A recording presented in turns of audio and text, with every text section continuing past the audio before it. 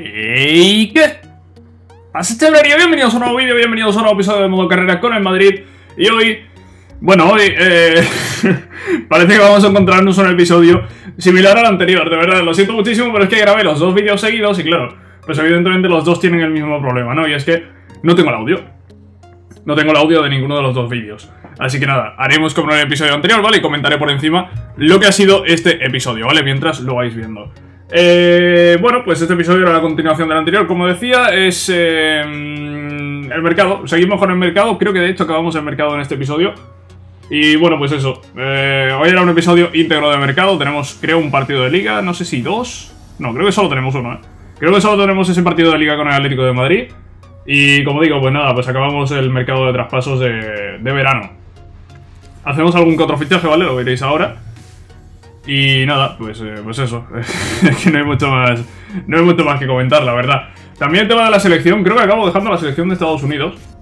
Eh, creo que sí, creo que empezó el episodio aquí con la convocatoria y tal. Y dije, mira, esta temporada no vamos a tener competición con Estados Unidos. Me decepcionó la selección en la Copa América con esa derrota contra Chile.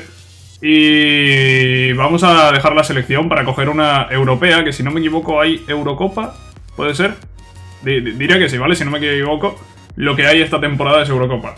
Así que que veáis que estoy, estoy mirando jugadores, pero no, no, hagáis, ni caso a esto porque al final no sirve de absolutamente nada. De hecho, aquí me doy cuenta ya, ¿no? No lo sé, la verdad. No lo sé, aquí estoy en el menú parado. ¿Por qué estoy en el menú parado, tío? Vete, vete a lo de las selecciones a dejarla, tío. Sí, supongo que estaría comentando el tema ese, ¿no? De que íbamos a dejar la selección porque al final no hay ninguna competición con una selección... Eh, con estas selecciones eh, en esta temporada y quiero volver a una selección europea y si puede ser, pues volver a la selección española, ¿no? Donde yo creo que lo hicimos bien y que al final eh, tuvimos una eliminación rápida, no sé si fue en el Mundial, pero también fue culpa de, pues que, de, que nos tocó jugar fuera, ¿no? No, de, no de que lo estuviésemos haciendo mal realmente. Bueno, aquí vamos a ir viendo mensajes sobre oferta, jugadores que vendemos, jugadores que vienen, que se van y todo eso. Como ya sabéis, y también algunos informes. Por ejemplo, aquí tenemos al portero este japonés que veíamos en el anterior episodio. Tiene 79 de media este tío. y tiene potencial de toda una joven promesa, que está bastante bien, ¿no? Es un jugador sin duda interesante. Y puede que sea un buen fichaje para el futuro. No lo, podíamos fichar en este mercado, ¿vale? Porque este jugador era recién llegado al Barça. En fin, ahí veis que íbamos a continuar. Y que vamos a tener un partido con el Atlético. No, no sé si llegamos al partido del Atlético. No, no llegamos. No llegamos porque nos paran, ahí veis, eh, bueno, jugadores internacionales tenemos muchísimos. Aquí llegaba ya la primera selección europea, en Suiza, evidentemente íbamos a rechazar a Suiza. El objetivo es España, pero si no es España, pues buscamos algo potente, ¿no? Una selección francesa, eh, Alemania, Inglaterra quizá, Italia... El objetivo es España, ¿vale? Pero si no es posible, yo creo que Francia o Alemania pueden ser selecciones muy potentes y muy interesantes para la próxima Eurocopa. Aquí... Aquí sinceramente no sé qué estoy haciendo. Ah, vale, sí, eh, Vasco Granero. Vasco Granero, hablamos de este jugador en el anterior episodio, de que la intención era cederlo para subirle el potencial, y aquí veis que lo ya estaba cedido, ¿no? Y lo que hago es recuperarlo. Lo recupero para ver si su potencial sube y veis que el primer intento no, sigue manteniendo un potencial de mierda. Y es por eso que veis que estoy saliendo del modo carrera y estoy volviendo a entrar para volver a intentarlo, ¿vale? ¿Esto es algo que podía hacer fuera de cámaras? No estoy seguro, quizás sí, ¿eh? Quizás sí fuera de mercado. Pero, no sé, decidí hacerlo en el episodio por si alguien no sabía cómo se hace esto. Y veis que lo recupero una segunda vez y sigue manteniendo un potencial de mierda. Así que volvíamos a salir y a entrar. No sé si lo acabo haciendo... Bueno, no voy a decir cuántas veces lo hago. Porque si no os estoy adelantando cosas del vídeo, pero... Una tercera vez como mínimo lo íbamos a hacer. Y de momento sin suerte, la verdad. Recuperábamos al jugador dos veces y, nada, no había forma, tío. No había forma de que, de que subiese potencial. Seguía manteniendo un potencial de mierda. Lo que me hace pensar si esto realmente funciona. A mí me habéis dicho que sí, pero... No sé. Con Mitchell, por ejemplo, lo probamos y sí que funcionó. Y con... Con Santoso, Rien de Thiago Silva, también lo tuvimos que hacer. Pero con, con Vasco Granero, pues parece que no funcionaba, ¿no? Parece que no funcionaba demasiado. De hecho, este era, creo, el tercer intento y no había funcionado. Y decido hacerlo una última vez y bueno, pues ahora veremos el resultado de esa última vez. ¿Qué implica que este jugador no tenga buen potencial? Pues implica que lo pongamos transferible y que fichemos a un tercer portero. Así que realmente esto es algo importante, esto, es algo relevante, ¿no? Dentro de lo que es esta temporada. Además de que si es un jugador, si, si acaba pillando un buen potencial el Vasco Granero, pues podría haber sido nuestro portero suplente en un futuro. Lo recuperamos una última vez y ahí veis que sigue manteniendo un potencial de mierda. Y que creo que ya no, lo intento más y ya se queda con ese potencial de mierda y está transferible, ¿vale? Es un jugador que está transferible. Bueno, no lo he puesto transferible, pero... Eh, debería haberlo puesto. ¿Lo pongo ahora? Sí, no lo sé. no lo sé, pero sí, la intención era... Eh, sí, ahí veis. Ponemos transferible a Vasco Granero y como digo, la intención... La intención pues era fichar un tercer portero. Pero ya sabéis que teníamos el equipo lleno, así que antes había que hacer ventas. Eh, de hecho, lo primero que hago es irme a mirar si teníamos algún portero por aquí. Sí, teníamos al portero este japonés, eh, veníamos a verlo y aquí es donde nos dábamos cuenta de que este portero era recién llegado al Barça, que no podía ficharlo. Y también teníamos por allá el relleno de Keylor Navas. El problema del relleno de Keylor Navas es que también acaba de aparecer en el juego, digamos, y la primera temporada que aparecen los Regens tú no puedes ficharlo. Así que tampoco podíamos tirar de esa opción. Y vamos a ir al menú de plantilla, no sé para qué. Bueno, lo que íbamos a hacer ahora es buscar otro portero, sinceramente, porque estábamos viendo aquí los porteros que teníamos en plantilla, pero es que, claro, no teníamos un portero por ser tercer portero. Sí que es verdad que tenemos a Ter Stegen, que no lo podemos vender, eh, sí que es verdad que tenemos a Courtois, que aún no lo habíamos vendido, pero no, no nos íbamos a quedar con un portero de ese nivel como, como tercer portero, ¿no? Me parece, me parece una tontería. Así que no sé qué estoy haciendo aquí para guardar, pero supongo que iba a negociar con alguien, ¿no? Hay veces que no sé lo que hago, tío.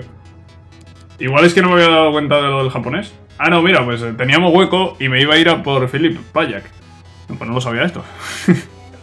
Descubrimos esto ahora mismo en directo. Sí, nos íbamos a ir a... nos, íbamos a ir a por Philip Payak, que es el relleno de Luka Modric. Es un fichaje que íbamos a hacer para centro de campo. Parece que sí que tenía sitio, no, no estaba seguro. Y bueno, pues nos íbamos a ir nos íbamos a ir a por este jugador. Tiene potencial máximo este jugador, ¿vale? Entre 91 y 94. Y, y creo que es... Eh, un fichaje necesario, ¿no? Para reforzar el centro del campo, donde teníamos a Villalba. Pero es que Villalba tenía potencial bajo, tenía ya 21 años, tenía 79 de media. Eh, creo que Felipe que era un muy buen jugador, un muy buen fichaje que podíamos hacer. Ahí veis que nos sale por 25 y pico, si no, si no veo mal. Y no había habido mucho problema con, con la negociación con Emery, la verdad ha sido bastante sencilla. Y con esto nos íbamos a ir a la negociación con el jugador. Eh, le ponemos rol de ocasional, que creo que cuela. Sí, cuela. Claro, tener tanta competencia en el equipo, eh, los jugadores nuevos que fichas le puedes poner una relevancia bastante baja y eso es bueno, ¿no? Porque así se queja menos, básicamente. Nos iba a poner ahí una cláusula de no sé cuánto, yo cancelo esa cláusula, no me interesa la cláusula con este jugador. Y aquí vamos a ver el sueldo, que no sé cuánto lo acabo pagando, la verdad, no tengo ni idea. Cobra 49 si no veo mal, y le estoy poniendo 80. Asegurando, asegurando básicamente, tenemos presupuesto de sobra, no vamos a arriesgar, no vamos a perder el tiempo para que rechace y tenga que salir y entrar otra vez. Pasaba. Y Philip Payak, pues es el eh, nuevo fichaje que llegaba al equipo, ¿vale? Al centro del campo. Villalba, que era que teníamos como suplente, le íbamos a poner transferible, de hecho, no sé si ya lo estaba. Y ahí está Philip Payak, que toda una joven promesa. Este jugador tiene potencial para destacar, ¿vale? Este jugador tiene potencial para destacar. ¿Por qué al fichar a este jugador pierde potencial? ¿Por qué cuando fiché al Rillen de Thiago Silva perdió potencial? Son cosas que no entiendo. No, lo entiendo, tío. Es que no tiene sentido. Ficha un jugador y, el juego coge y le baja el potencial. ¿Por qué, tío? No tiene sentido. Aquí veis que me salí, evidentemente. Me salí a volver a intentarlo porque no tenía sentido que me bajase el potencial de este jugador. Tenía potencial máximo y ahora de repente aparecía con potencial de toda una joven promesa. Estamos hablando de que puede haber una diferencia de potencial de 4 o 5 puntos. 4 o 5 puntos, ¿eh? 4 o 5 puntos es la diferencia entre tener 90 de potencial y tener 85. 90 es la hostia. 85 está bien. Está bien. Pero es que con potencial 85 hay 200 jugadores, con potencial 90 hay 15. Estos son números que me acabo de inventar, pero más o menos así estará la estadística, ¿eh? Más o menos así estará la estadística, no os creáis que está muy lejos.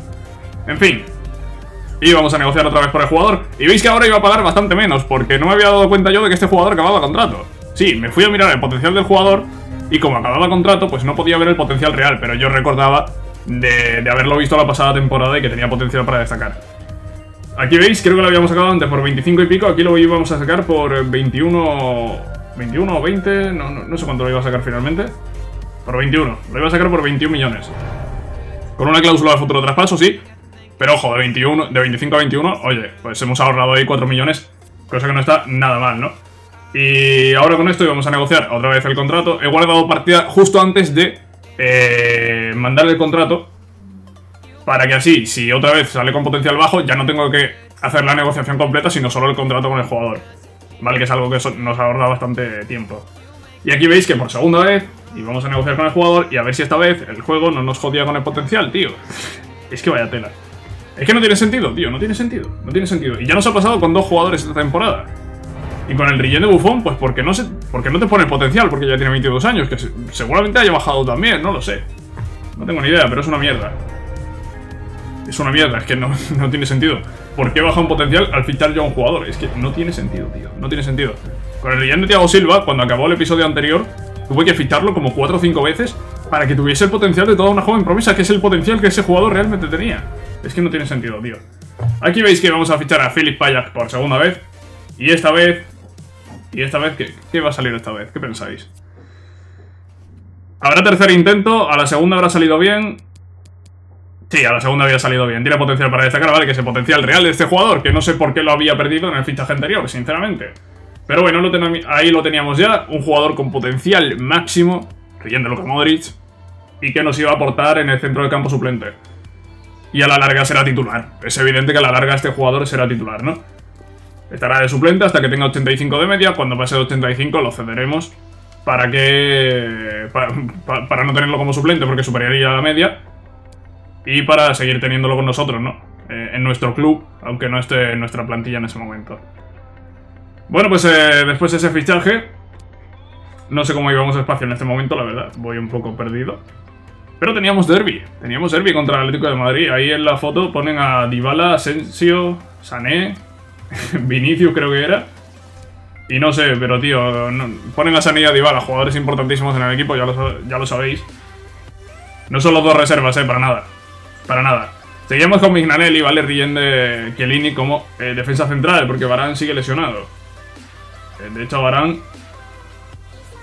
Eh, he estado mirando antes, creo que le quedan 5 semanas. Cuando haya acabado este episodio le quedan 5 semanas, así que le quedarán unas 6 o 7 cuando estamos aquí en este momento en este derby. Eh, marcaba Odriozola en el minuto 30.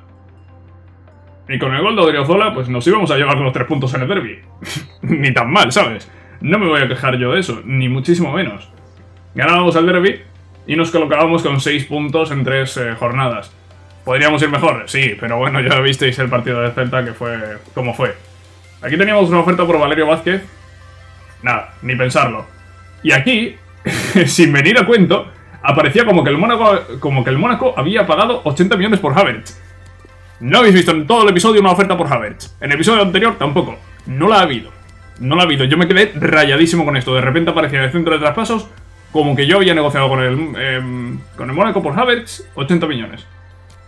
Ahora veremos un mensaje básicamente del Mónaco que había pagado la cláusula. Pero es que el mensaje me llega como 3 o 4 días después de que eso salga ahí en el centro de traspasos. Es que no tiene sentido, tío. Es que la cantidad de bugs que tiene el modo carrera es que es increíble, es impresionante, tío.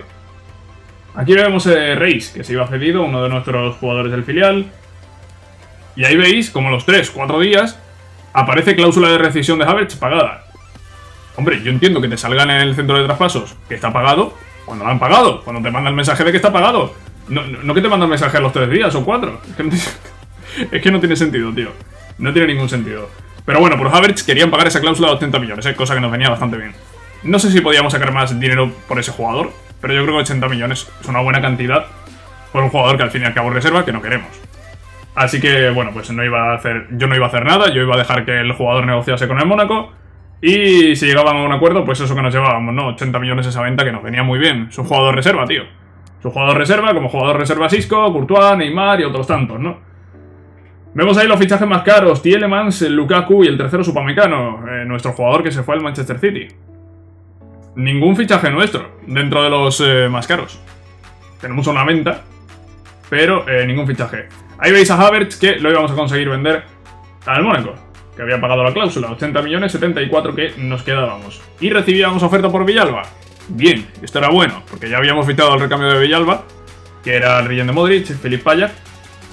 Y como decíamos, Villalba es un jugador parecido a, a Cárdenas, ¿no? Que lo vendimos en el anterior episodio.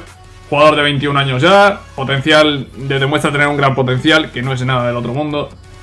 Y bueno, ahora mismo sí sitio, ahora mismo estaba de reserva porque habíamos fichado al Rion de Modric. Así que lo mejor era venderlo. Y bueno, pues 20 y pico millones por un jugador del filial que nos cuesta fichar 25.000. Pues me parece, me parece impresionante, ¿no? Me parece un, un beneficio brutal, ¿no? El de Villalba, el de Cárdenas y el de otros tantos jugadores que hemos sacado del filial. Aquí eh, íbamos a mirar laterales derechos. Sí, creo que teníamos espacio ahora mismo en el equipo. Y estaba mirando regens de laterales derechos. Habíamos buscado a Dani Alves para ver si estaba retirado. Efectivamente, estaba retirado.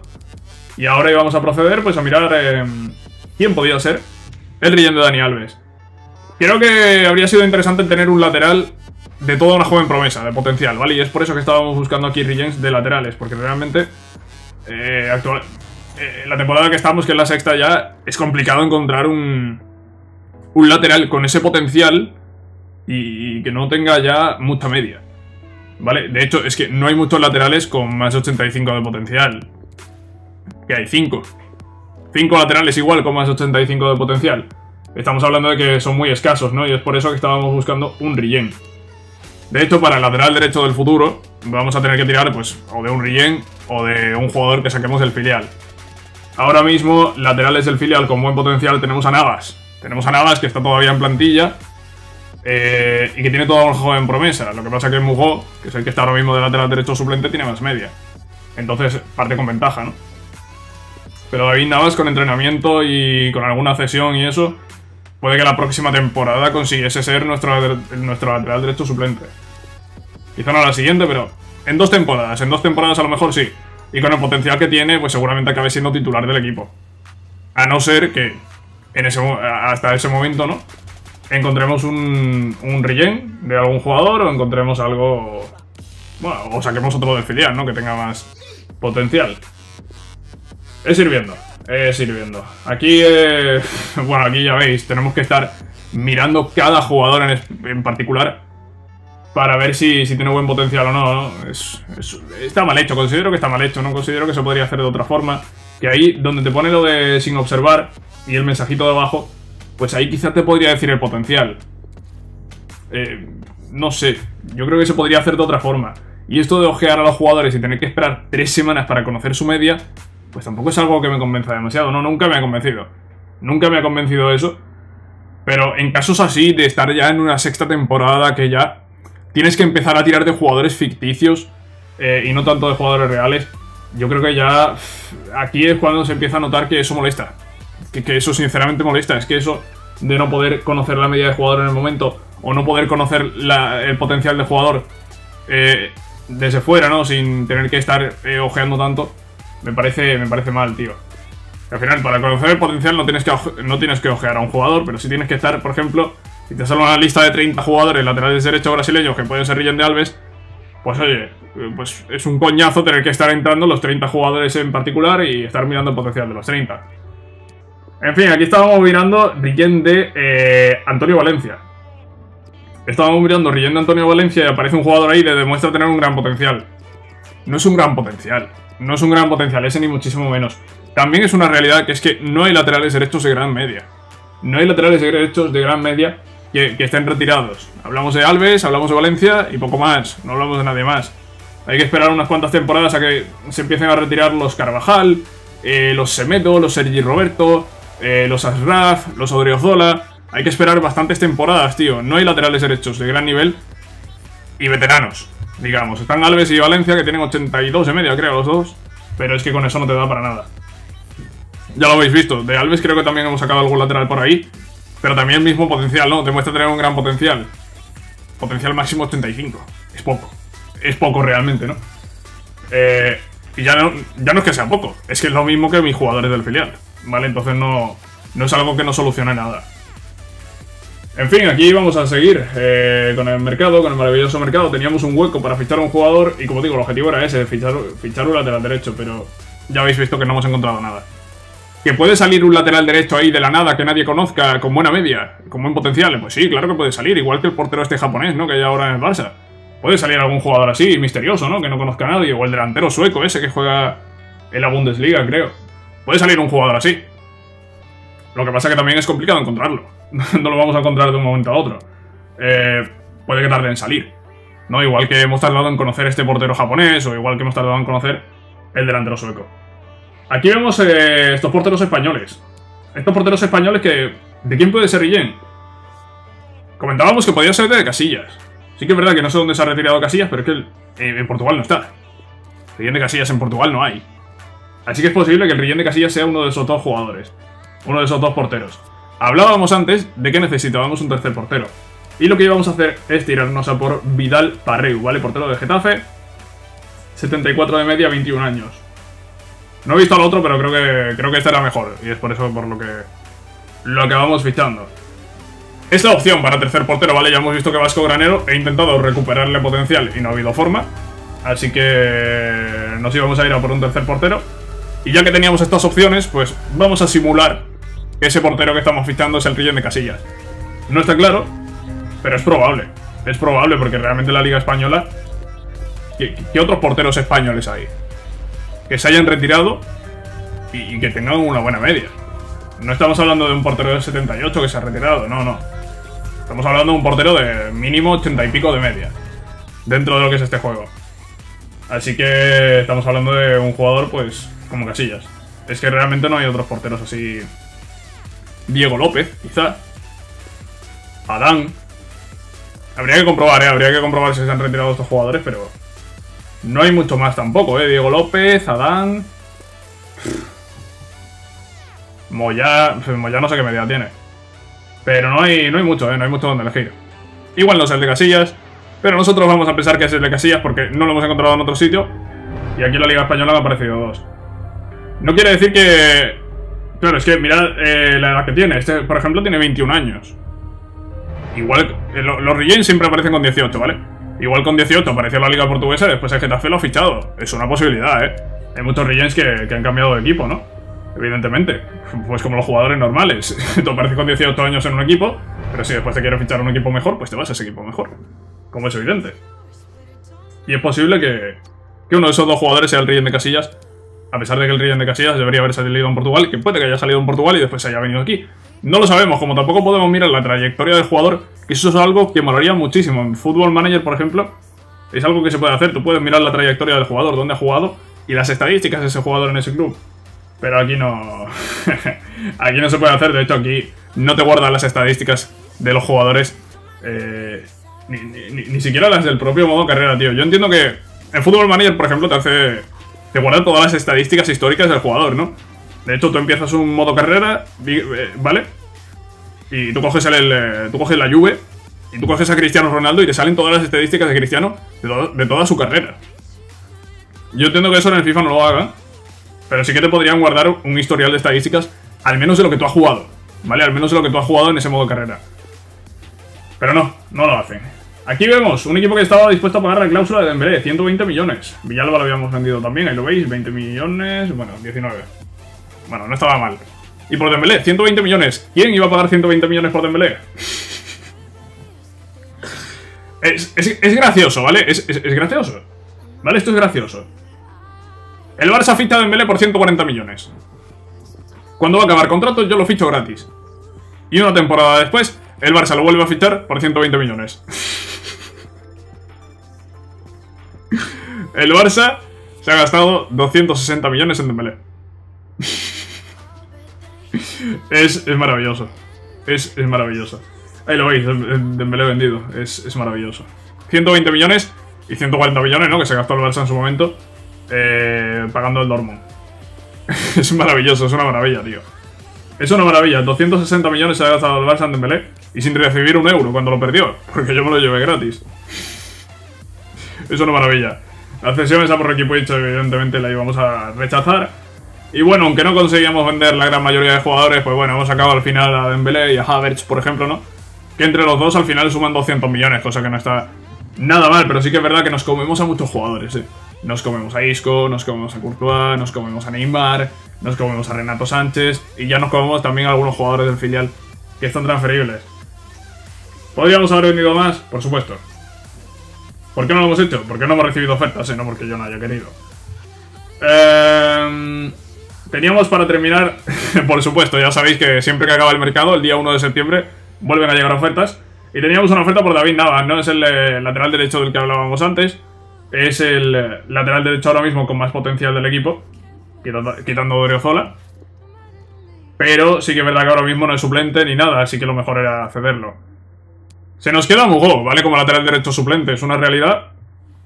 No hemos encontrado a nadie mejor. Es que la realidad es que no hemos encontrado a nadie mejor. Sí que es verdad que podría haber fichado a un jugador de 81, 82 de media, quizá. Pero no íbamos a fichar a nadie con más potencial que este jugador. Eso es una realidad que no podemos negar.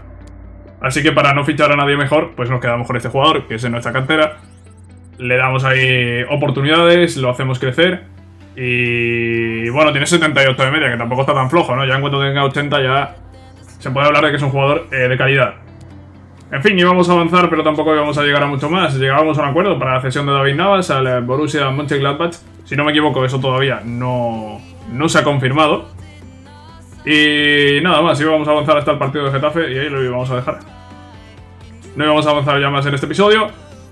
Y nada, pues desde aquí despedirme, ¿no? Espero que os haya gustado este episodio. No... Espero no tener que hacer más vídeos comentados sobre vídeos ya grabados.